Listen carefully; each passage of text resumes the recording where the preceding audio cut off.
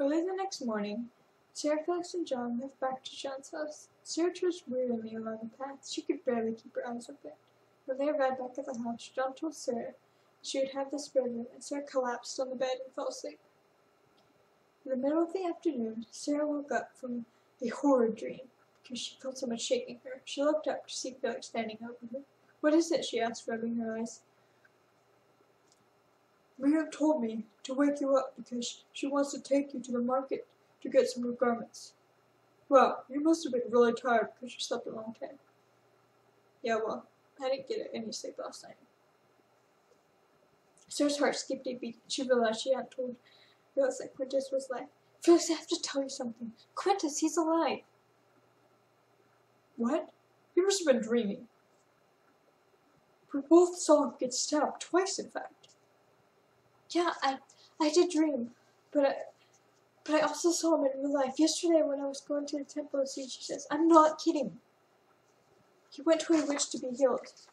He said that he killed all the soldiers and that stood up to him, and that he wished he would have killed us. He didn't kill me because John and Peter told him to let me go. Oh dear. Oh dear? The connotation Sarah took from his words was different than Felix intended. I meant, oh no, that he's back, he clarified. Well, he's pretty much a coward. I'm glad he didn't hurt you. We just have to make sure to stay away from him. You never did tell me what happened yesterday when you talked to Jesus, by the way. He wouldn't do it. He wouldn't bring my father back. He doesn't have the power? Felix asked. He, he just wouldn't do it. I came all this way for no reason at all.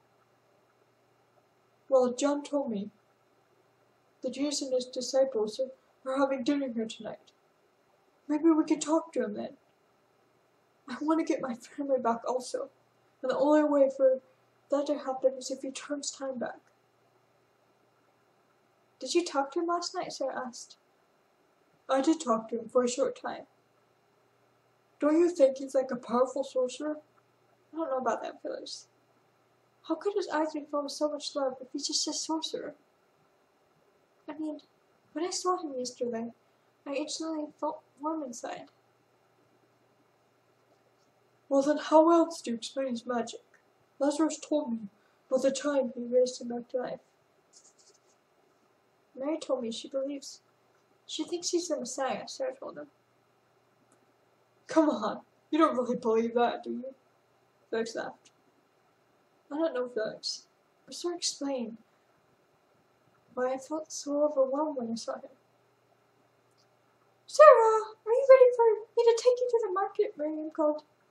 Yeah, I'm ready, Sarah answered. Sarah and Miriam walked to the crowded marketplace. I always wanted a girl. Miriam explained. But my husband was quite happy with one child.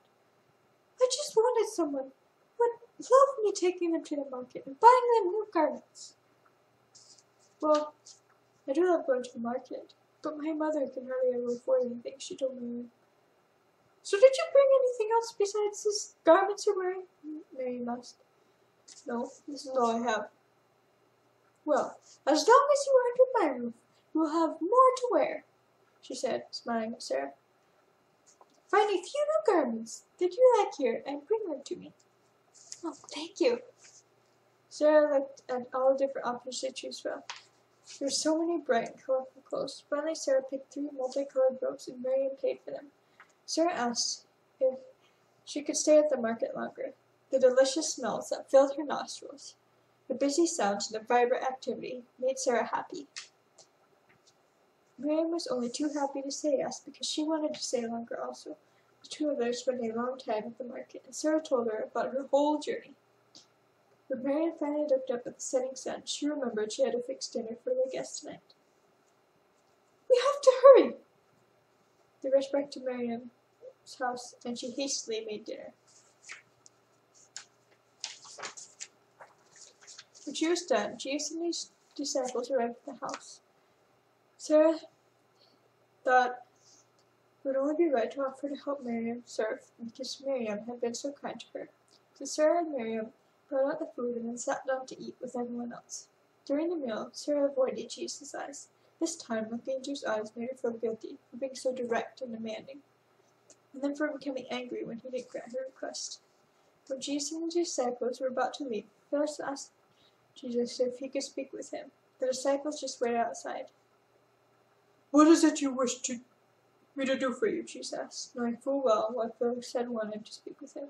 Well, you see, Sarah asked you if you could do something for her yesterday. I was just wondering, why can't you do this? I mean, are you like a powerful sorcerer or something like that? If you really knew who it was you were speaking to, you would not speak to me in this way. Sarah could come to me if she has a problem. She has to decide if she's willing to believe in me. How about you? Felix was surprised by Jesus' directness. Excuse me, but no offense. But who are you? I mean, really. I'm the light that was sent from heaven and born into the world because my father said, It is time, it is time for my children to be delivered out of bondage. Felix took a few steps back. You're not saying that. You're not saying that you're the son of God, are you? I follow God, isn't that enough? Jesus looked at Felix in the eyes and rebuked his words. Out of your mouth your heart speaks. I know what is truly in your heart, and I know that what is in your heart is not of God. If you truly desire to follow God, you would let go of the anger and the bitterness you've been holding on to for so long. Give your bitter feelings to me, and I will drink your cup of suffering. Come follow me and believe, Felix. Felix was so stunned he didn't know what to say. All this time, I believed I was following God, but now I know I wasn't. I guess I never understood what it meant. How can I understand when I don't even know who I am? I don't want to be like the other. I want to be a different and better person. I want to believe, but I need more faith. If you are truly seeking God, you will have the faith you desire. Jesus told him. I will try. I'll go get Sarah and tell her she can speak with you now. Felix found Sarah and brought her to Jesus. I have this question. It's, it's been nagging me for a long time, so so sick. Am I not worth anything? I felt this way for a long time. Are not two sparrows sold for a penny? Yet not one of them will fall from the ground, apart from the will of your Father. And even the very hairs on your head are all numbered. Don't doubt your value. For I tell you, you are valued so much that even the Son of Man is willing to give up his life for you. I also don't understand why you can't bring my father back, she added. I help my father speak the world into motion, Sarah. Within a snap of my finger, I can bring back time. But I seek to honor my father and do what is best for his children. We are only given one life to live and one story to play a part in. I am telling you the truth. You were able to change the world with a story that God has let you play a part in.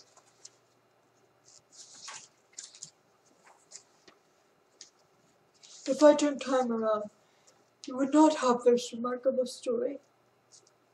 It could bring a difference in the lives of countless others. Sarah had never even considered what he had said before. She had not realized that she had such a big impact on others. Is that my destiny? she asked. That, my child, is one of the reasons you are on this earth. You must look into your life to find your calling. Jesus placed his hand on her shoulder. My father made you special, and he has a work for you to do.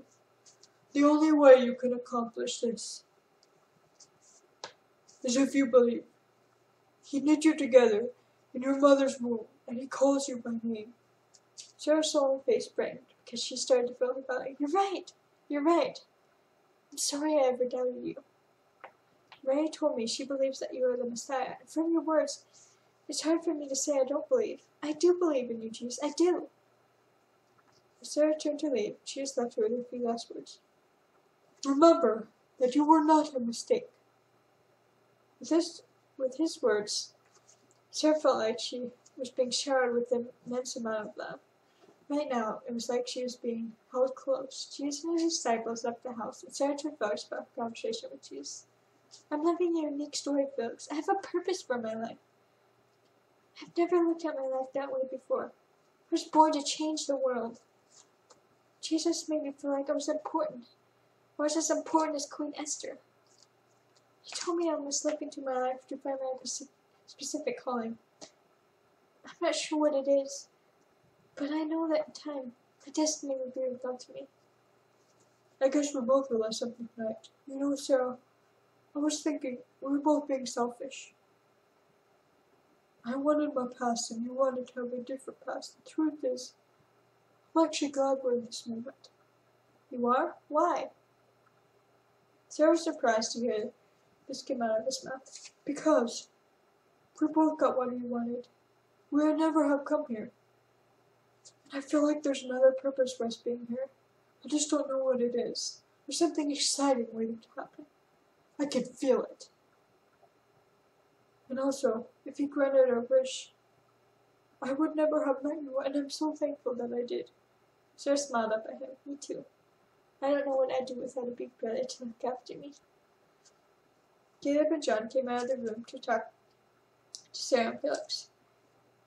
Hey, I'll be leaving here early in the morning. I'm going to spend the day with Peter and the others. You're pretty close to them, aren't you? Asked. I'm especially good friends with Peter. He's like a second father to me anyway. Can we come with you? Sarah asked. Sure, if you want. Can I come too, Peter asked. Of course you can, Felix ruffled his hair. What'd you all do today? Sarah asked. Uh, wouldn't you like to know? Felix teased.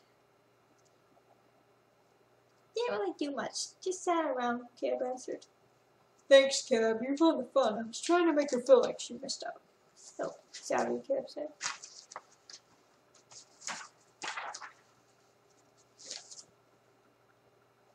It's okay. I was just messing with you and Sarah. So kind of you.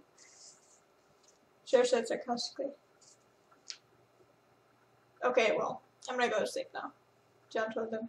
Next morning, everyone uh, woke up, ate breakfast, and then Philip, Sarah, and Caleb followed John out the door.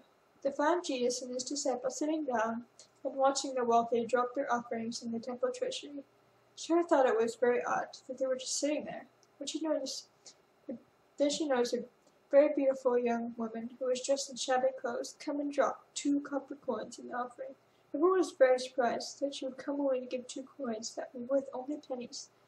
Jesus looked at everyone sitting amongst them and said, I tell you the truth, this poor widow has put in more to the treasury than all the others. They gave out of their wealth, but she, out of her poverty, put in everything, all that she had to live. But she, she only gave a couple of coins, Caleb John Pierce. Just looked at Caleb smiled. That was all she owned. This young woman has given from her heart. They spent the day listening to Jesus' teaching. In the afternoon, they were all outside when they saw a few Greeks coming towards them. Sarah recognized them as candidates on her mother's list for Sarah's marriage. Hoping they would not recognize her, she turned her face away. Felix, I think we should go now. Go? Go where? Back to John Mark's house. But John and Caleb are here. Why do you want to leave? Sarah pointed to the Greek man. You know them? he asked. They're a rich man. All of them people my mother is considering for my marriage. I thought your mother would want you to marry inside her faith. Are you kidding me? She married a Greek man. All that matters to her is if they're rich or not. Can we just go, please? They're not even looking at you. They're talking to Philip. Want to see what happens, Sarah. Just don't look directly at them. After Philip, Edward had whispered to Jesus. He sat down on the stairs, looking deeply troubled. The hour has come for the Son of Man to be glorified. I tell you the truth, unless a kernel of wheat falls to the ground and dies, it remains only a single seed. But if it dies, it produces many seeds. The man who loves his life will lose it. While the man who hates his life in this world will keep it for life eternal. Whoever serves me must follow me, and where I am, my servant will also be. My Father will honor the one who serves me. As Jesus saw the Greeks approaching him, he looked around at the multitudes. He straightened up and looked up to heaven. Now, now my heart is troubled. What shall I say? Father, save me from this hour. No, It was for this very reason I came to this hour. Father, glorify your name. Everyone looked up at the cloudy sky where they saw light flash, and they heard the sky roar like a lion. Did you hear that? God spoke to him. He's really the Son of God, Philip said. No, it was just thunder. Philip said. Then Jesus spoke again. This voice was for your benefit, not mine. Now is the time for judgment in this world. Now is the, the prince of this world will be driven out. But when I am lifted from the earth, I will draw all men to myself. One angry man in the crowd charged Jesus and tried to strike him. We have heard from the Lord the Christ will remain forever. So how can you say that the Son of Man will be lifted up? Who is the Son of Man? Jesus looked at the man who choke him. He took the man's hands away and then spoke. You are going to have the light just a little while longer. Walk while you have the light, before darkness overtakes you. The man who walks in the dark does not know where he is going. Put your trust in the light while you have it, so that you may become sons of light. Jesus left to pray alone and hid himself away.